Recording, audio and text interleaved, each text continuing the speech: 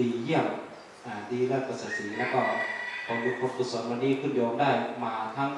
ขอให้พระไตรปิฎกมาทำบุญด้วยพระพุทธพระธรรมพระสงฆ์แล้วก็อีกอันหนึงก็คือว่ามาร่วมกันที่จะเป็นปฐมฤกษ์ในการ